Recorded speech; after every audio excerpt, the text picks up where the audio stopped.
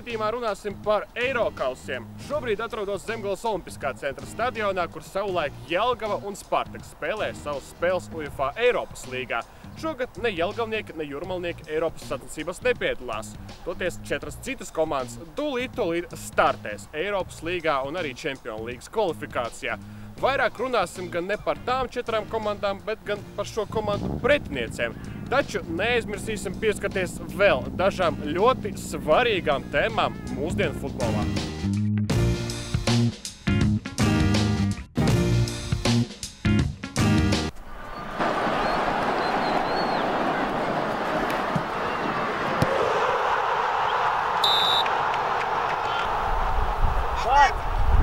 Kāds var te ir virsli? Jā, virslīgā var patiešām nav, bet pagaidām mēs raidījuma vadītāji mēģinājām noskaidrot, kad tad dzīvē varētu realizēties sapnis, ideja par to, ka var parādās arī mūsu nacionālajā čempionātā.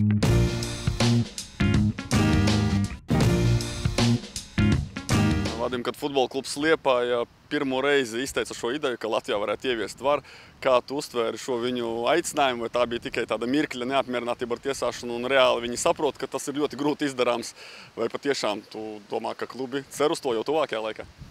Es domāju, ka mans, man, mana uztvere mums vajag ieviest to varu, un tas jau nav jautājums par Liepāju vai par Ventspili vai par jebkuru citu klubu.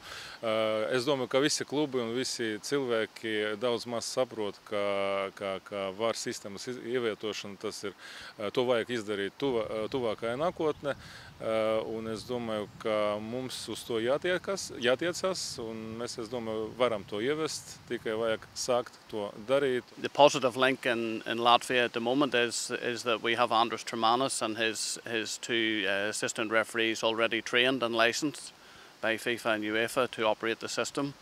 Um, so they are qualified and, and able to referee at the highest level in Europe with this uh, training. Zinu, ka tagad U21 Eiropas čempionātā Treimanim bija tāda ļoti cieša saskare, bet es neesmu viņu runājis kā viņam tur un, un, un, un kas un kā. Bet es pieļauju, ka daļai tiesneši varbūt viņi jutīsies tādi, kā, nu, ka viņu loma vairs nav tik būtiska. Andrim Treimanim tas prasīja diezgan ievērojamu laiku. Tagad viņš bija piecos semināros, lai, lai, lai visus to saprast. Un kā, ka es domāju, ka viņš to visu saprata un tas bija ļoti noderīgi. Un es domāju, ka visus var apmācīt. You also need your video assistant referee and your assistant video assistant referee to be at the similar level to Andrus. Um, that probably in Latvia could be provided at the moment. Um, but as I said earlier, you, you then need to have the facilities, the, the, the television cameras, sufficient number in the stadium. I think at the moment the minimum is six. Possibly that might be reduced to four. Um, in the future, you need a VAR room in every stadium. Um, obviously, the, the, the television pictures are important. Kā tas izskatītos uh, Latvijas vidē? Visticamāk, tas būtu viens uh, busiņš, uh, kas tiktu aprīkots ar uh, trīs vai četrām darba vietām, uh, atkarībā no tā, cik, uh, cik tiesnešiem un cik uh, teikt, kameru operatoriem tur būtu jāiesaistās. Izdarāms būtu, noteikti nebūtu lētāk kā kā, kā teiksim, translācijas nodrošināšana. Katrai valstī ir savi cipari, savi stadioni, savas TV kompānijas. Un, un mums jāsaprot, ka šeit nav tikai cipars nopirkot kameras, lai būtu sešas vai astoņas kameras. Šeit ir cipars vairāk, vairāk iet uz augšu dēļ tiesnešu inspektoru apmācības, dēļ tiesnešu apmācības. Jebkurā gadījumā, ja tas Latvijā pat finansiāli būs iespējams, tas nenotiks uzreiz un, kā saka, uz citienu. To visu vajag ieviest pakāpeniski. Um, and the first step would be the federation agreeing, yes, okay, let's discuss, let's have a discussion with, with IFAB, with FIFA. Um, let's sit down and see what exactly we need to, we need to organise. Ja uh, Latvijas Futbola Federācija atradīs finansējumu vai līdzfinansējumu no starptautiskajām organizācijām, tad uz nākamo gadu vismaz kādās virslīgas spēlēs jau šis būtu testējams mehānisms. Tas var būt arī 21. gads, varbūt arī 25. gads. Bet ja mēs visi uh, uzstādīsim sev mērķi to ievest Latvijā un arī visi mums palīdzēs, es domāju, ka tas nebūs īpaši liela problēma ievest to, jo, jo ātrāk, jo, jo labāk.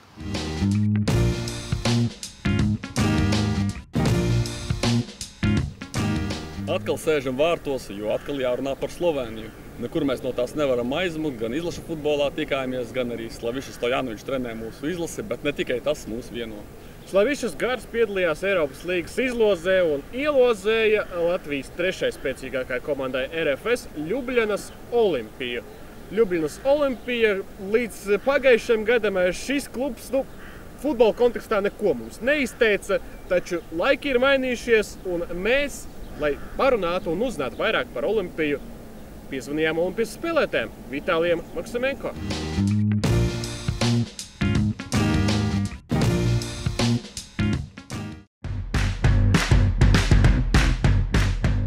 Uzreiz padomā, nu, 90% tikai tas būs FPS, nezinu, nu, uzreiz. Un tā arī gadās. Nu, tas gan, gan labi, gan, gan nezinu, līdzekļiem, gan Latvijas klubu. Man, man arī prieks atgriezties Latvijā, uzspēlēt Latvijas klubu. Ko tu pats eh, stāsti, ko tu pats vari pateikt par RFS komandu, kā tev no malas izskatās? Eh, jo arī savulaik pats drusku trenējies ar šo komandu vasaras periodā. Kā, kāds tev priekšstats par šo organizāciju? Nu, diezgan labs klubs, jā, priekš Latvijas līmenī. Gan iekšā, gan treneru stāsts diezgan labs. Eh, kvalitatīvi spēlētāji gan mūsu no Latvijas izlases, kur domāju, spēlē vislabākie no Latvijas. Ja. Kvalitatīvi ārzemnieki parakstīja ja, jaunus spēlētājus no Serbijas. Viens bija pie mums arī uzbrucējs pagājušā gada. I've been there, I've been there before uh, maybe one year. I, I, I come there in 15, 15 June, I signed two years contract. then after me come one coach, you know, who, who have uh, another ideas, you know, and can, then he don't put me to play uh, all, all this time. All the one month, two month uh, is my time there was only two months, and I don't play any game. And, I, and then I decide, you know, that, uh, I talk with the people in the club. They say that the coach will not use me. Then I decide to, to, to leave the club. Kādi ir tie Olimpijas trumpi, kur ir vadošie spēlētāji komandā, no kuriem latviešu spēlētājiem būs jāuzmanās šajās divās spēlēs? Diemžēl varu uzreiz pateikt, ka viens atslēgas spēlētājs jau ir aizgājis. Tas jau bija pirms izlases spēlēm. Un, gan priekš manim viņš ir vislabākais spēlētājs mūsu komandai, bija gan priekš līdzekļiem. Viņš pavadīja šeit četras sezonas, uzvarēja gandrīz visus eh, kausus, visus čempionu titulus. Un, ja paskatīties uz viņa statistiku, kā viņš bija aslēga spēlētājs. Katru sezonu pa 15, 15 pārtus guvējiem, 15 piespēles, vismaz rezultatīvas piespēles. Tas ir koronavēters. Viņš aizgāja tagad uz, uz Māriboru, mūsu pretinieci. Diemžēl, diemžēl. Mm, bez viņa, jā, būs kāda sezonā vispār grūtāk. Un spēlēt pret viņu būs grūtāk, jo es zinu, kāda kvalitāte tas ir tāds spēlētājs ir Sūļiņš, Savičs, vadošie spēlētāji. Viņš viens ir Austrijas serbs, tā var pateikt, ka viņš ir serbs, bet dzimis Austrijā, ir no Zaļsburga akadēmijas. Un gan Sūļiņš ir bosnietis ar Ungārijas pasi. Viņš pārstāvēja gan video tonu dažus gadus, visu četrus, man liekas. Arī labs spēlētājs. Kā jūties par savām pozīcijām, komandā klubā? Kāda, kāda situācija, cik daudz ar treneriem runājis jau tagad, gatavoties jaunai sezonai? Nav nekāda satraukuma par manu pozīciju. Esmu pārliecināts. Protams, gribu tas tikai atjaunoties. Paspēšu līdz spēles pret RFS, lai būtu jau simtprocentīgi gatavam. Vēl nevaru to pateikt, jo laiks iet diezgan ātri. Jau gandrīz jūlijas, ja es vēl neesmu nospēlējis nevienu spēli, diemžēl. Tas par traumu un, un bija atvaļinājumi. Tā kā vajag atgūt formu un lai paspēt līdz šim spēlēm. Bet, ja skatāties uz sezonu, es nesmu, nav nekāda satraukuma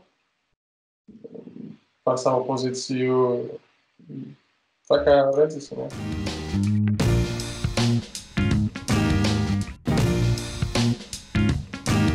Tā nu ir sanācis, ka īrijā dzīvo daudz latviešu, bet te pašā laikā Rīgā ir daudz īru krogu.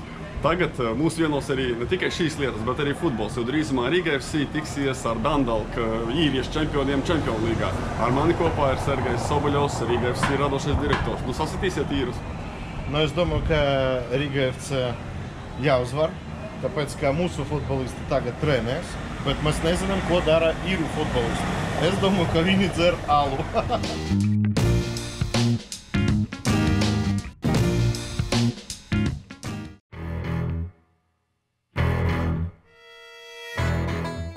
said, Dundalk have won four titles in the, the last five seasons, so they they're the number one club in Ireland, and I don't see it changing. I don't see it changing for the for the next couple of years because with the American owners they have, um, they've they've they've lots of money, they've lots of you know the, the best players in the country, so.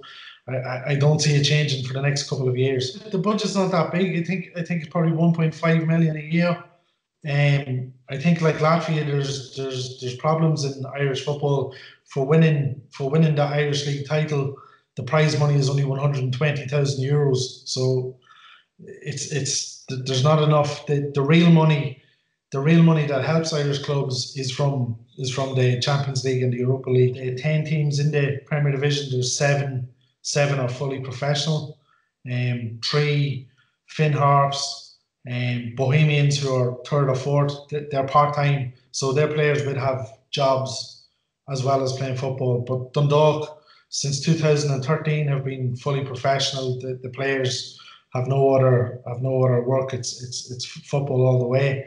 Um, so yeah, the league is trying to become fully professional, but there will always be a couple of clubs who who just don't have the resources or the or the money to, to, to be 100% professional. The main one from Dundalk is Patrick Hoban, um, scored 29 goals last year, last season. It was a, a record in the, the League of Ireland.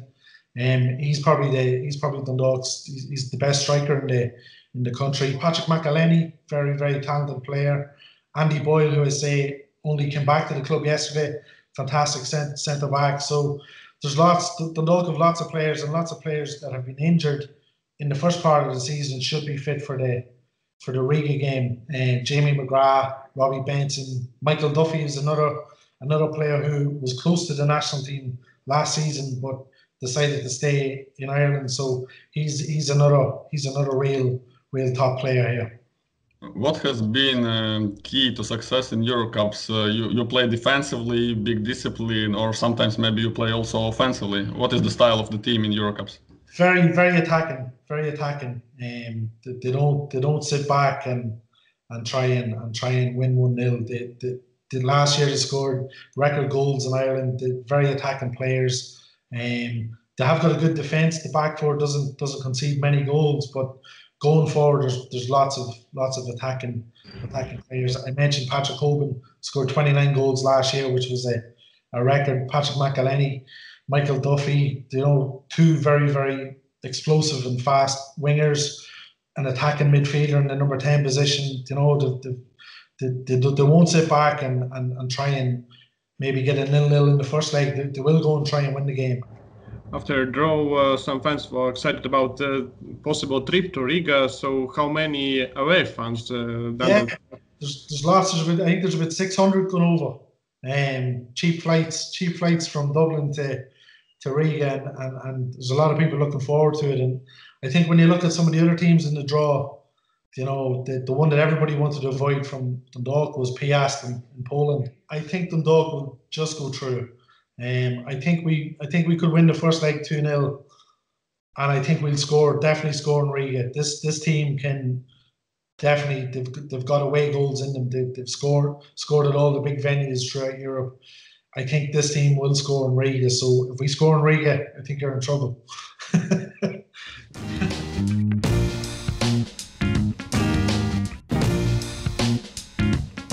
Sveiki, tā ir kārtējā futbola bumba epizode.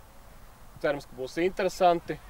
Skatāmies. Nē, nu tas, tas nav mans teksts. Tas nav mans teksts. Tas ir Jurijs Žigaiva teksts, ko viņš parasti pasaka katrā savā vlogā, ievadā. Un tiešām jau katrs loks ir interesants, aizraujošs, saistošs.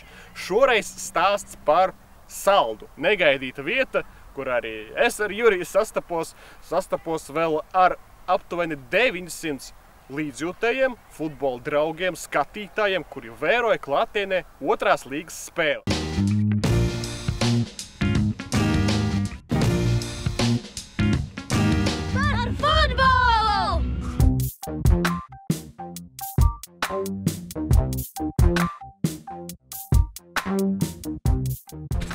Esmu saldū. Šodien šeit mēs ielīgosim sportiski. Būs bērnu skrējiens, būs futbols, būs koncerts. Viss būs.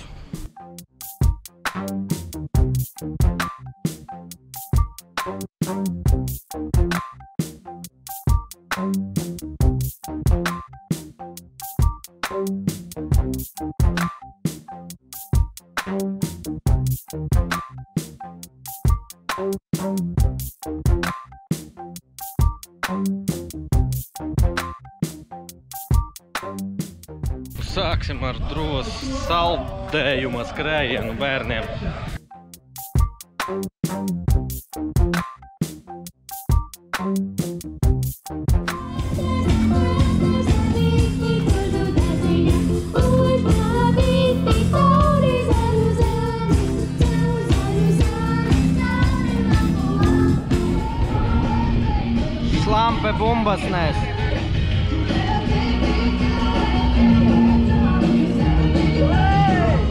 Ar mani kopā Māris Landmānījač. Visu šī pasākuma, jā, galvenais iedvesmotājs. Nu, tā sanāk, jā, jā. Un pastāst, kā radās ideja, kāpēc, kādi mērķi. Šogad sanāca tā, ka no Līvona puses noslēdzām sadarbību ar Saules sporta skolu. Jā. Un uh, tad tas viens no mūsu atrunātajiem bija tas, ka mēs pieslēdzamies arī pie otrās līgas komandas. Un šogad uzsākot kalendāru, spēlējot visas spēles, iepriekš viss bija izbraukumā. Mm -hmm. Tagad, skatoties to kalendāru, sanāk, ka pirmā mājas spēle ir 22. jūnijas. Super, uzreiz radās ideja, ka to varētu ielīgošanas pasākumu uzteikt. Aha. Eitīgi labo. Nu, tā arī tā ideja ar visu pašvaldību, ar sporta skolu, visiem nākot kopā šodien arī radās. Pašvaldība atbalsta? Pašvaldība atbalsta, jā, sporta skolu. Nu, viss, viss, viss nāk uz kopīgi un, un rada svētkus. Mājnieki šodien ir meitenes. Šodien meiteņi ģērba. Meitenes, kā jums iet? Nekas nebija pret, ka jūs šeit ielika? Nu, ko jūs klusējat? Gatavi?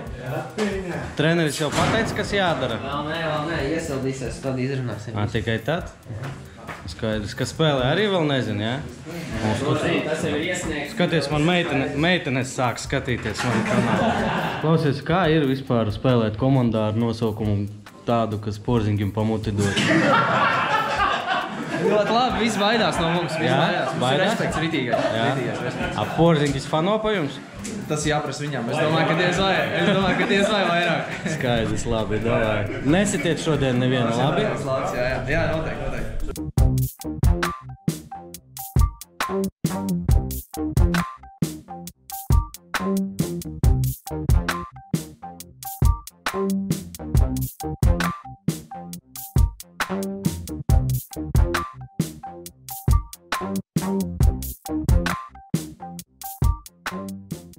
Garšīgi? Ir labi. Lūdzu, pateikšu. Pats smukākais, man meitai tādi paši ir. Jā? Jā. Kāpēc rozā? Mans māsas šodien. Sporta centrs strādā, skaties. Līgo! Agri palīdz dienesti. Priekš kam jums tur viņu jānes? Ar kādiem viet jānoliek. Ar kādiem? Domā pa vidu šita viņš neredzēs. Tas salūzīs tas gals zem viņa, ne? Nesalūzīs? Kā jūs sauc? Patricija. Ļoti patīk. Kā vispār var izdomāt meitene kļūt par futbola tiesnesi? Man tētis tiesā, viņš arī šeit ir, kā centrālais tiesnesis. Un es sāku skatīties, un tad es izdomāju, ka es arī gribu. Patīk? Patīk. Pati uzspēlē futbolu? Es vai? kādreiz spēlēju, bet tagad nav sanācis. Labāk tiesāju.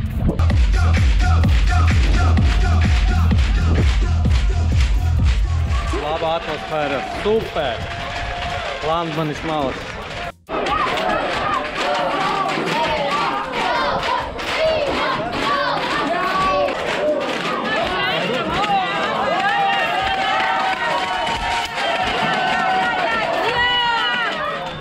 Trener, meitenei nebļaus, meitenei nebļaus virsū? Nebļaus, nebļaus virsū. Apsoli? Apsolu.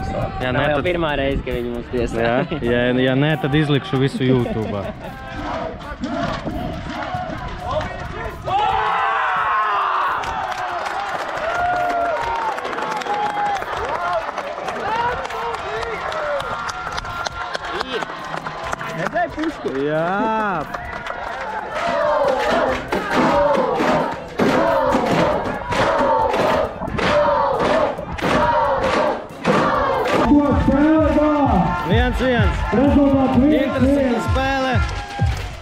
Ivane Malačić. Utakmica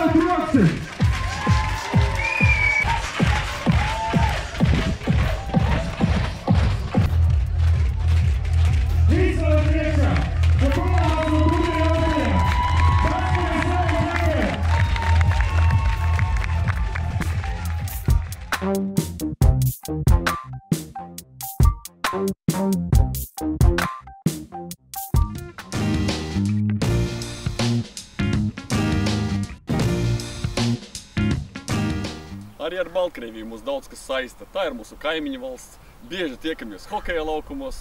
Tāpat arī futbolā mēs ar Baltkrieviem regulāri cieši sadarbojamies. Oļegs Kubarevs trenē šobrīd futbola klubu Jelgava, bet Eirokausos liepainiekiem ielozēja Minskas Dinamo. Labi vai slikti?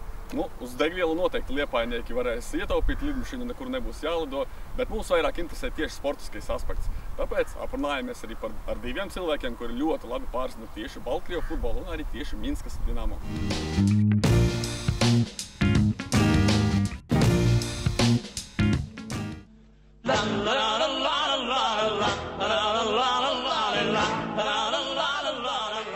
В этом году очень непростой период.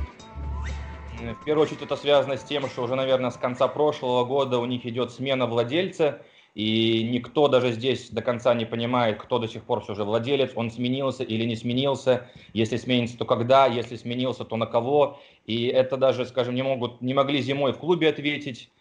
Начали чемпионат тоже не очень просто. Где-то месяц назад э, уволили тренера, в клуб вернули обратно Сергея Гуренко, который был здесь до этого.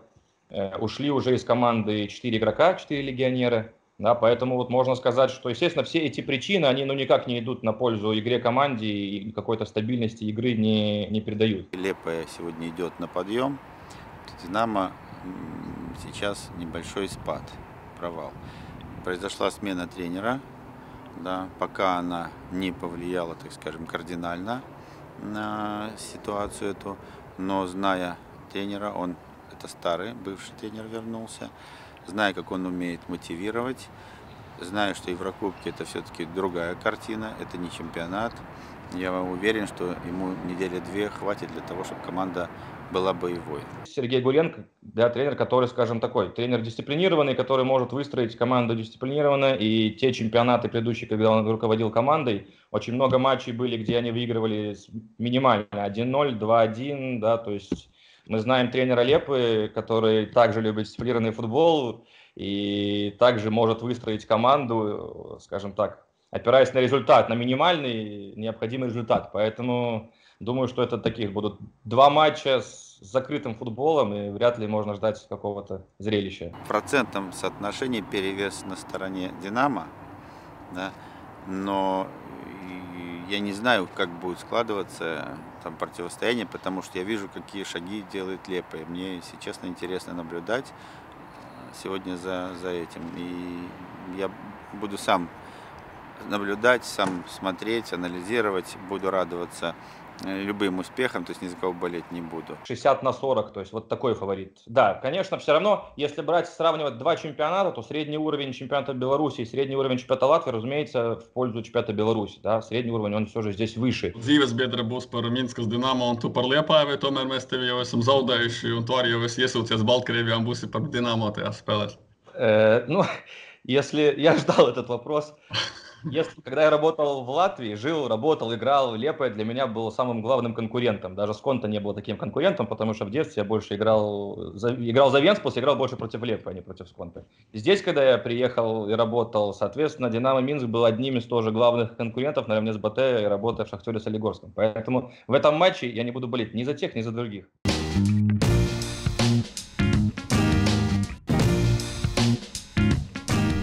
Nākamā valsts mūsu raidījumā par geogrāfiju un futbolu ir Albānija. Noslēpumaina valsts, kura ļoti grūti tikt īstenībā, nebija grūti man pašam. Caur Maķedoniju pēc Latvijas izlases spēles, bet tagad eh, Vēnspils uz turieni dosies. Dosies ļoti skaisti pilsētu, Durešu, turisma centru un spēlēs ar eh, komandu Teuta. Atkal Albānijas komanda nosaukums, kas neko neizsaka, kas tas ir. Paši albāņi šeit pat nezina. Mēs par to pārliecinājāmies. Īstenībā mēs uzvanījām albāņu futbola, drīzāk pat sporta ekspertam, paprasījām, kas tā tāda teorija ir. Un, nu, varat paklausīties, un varbūt kaut ko vairāk sapratīsiet par Vēnspilnieku pretinieku Eiropausos.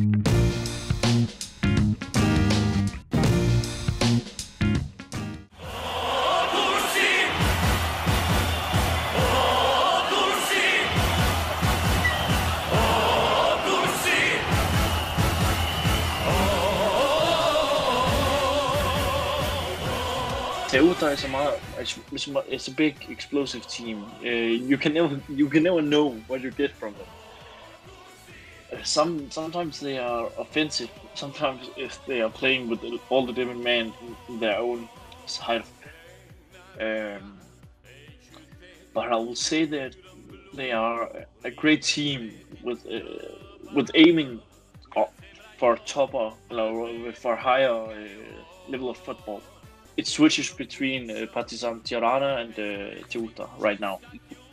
They are, they are the two teams com- uh, competing for the for the lead from from my perspective. I don't know really really don't know much about the Latvian side we are facing, but so I can't confirm or deny we, what if we are underdogs or we are on top of the game. Um, but I know Tutor is better when they are, if I can say it, underdogs. Um, because then they have something, they can't lose something. They can only win something for us. And uh, that's a big perspective uh, from from the most Albanian sides because, of course, I, I think Latvian sides have the bigger economy and budget to make things for the team. Um, and if they can beat uh, the Latvian side, it will, it will always be a, uh, a win from them. Are the people in Albania talking about fixed matches when Albanian championship is, go- is going on? Is it often issue in your, uh, your country? It's very I will not say that often. I will not say that it's an often uh, issue, but of course there is talking about it because, as I said before, Albania is not well people. Uh, they don't have the economy to make big st- big moves uh, in life. They are still uh, on the page with that problem with Serbia and that. So of course there, there must be some people. I don't. I I will normally just close my ears when I've heard hear about uh, about the the incidents and the bookmaker stuff.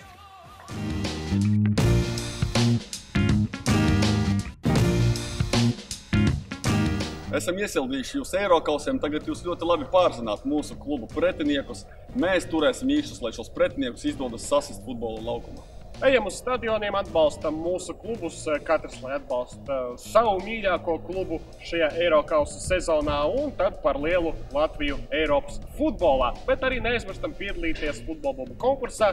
Skaists gols, hashtag futbola bumbas jebkurā sociālajā tīklā, kurš vispār eksistē, mēs atradīsim jūsu golu, ieliksim un arī iedosim kādu balviņu. Bet tagad braucam, uz kuriem braucam? Man patiks jebkurš variants, kā tikai ceļot un skatīties futbolu. Dodamies! Thank you.